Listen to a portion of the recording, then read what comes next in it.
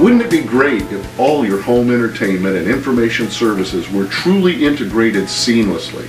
And what if they were accessible through your phone in a way you've maybe never thought of? Imagine you're watching a film and there's an actor or actress you don't recognize. You pause the film, place your cursor over that actor or actress, and you're instantly linked to their filmography. Don't recognize who's playing in an old TV series? Pause the series, place your cursor over the character, and instantly be connected to their filmography as well. Maybe you're watching a sporting event and you want to learn more about one of the players. You could pause the game, put your cursor over that player, and be instantly connected to their history and statistics. A commercial comes on and you're really interested in the product or service.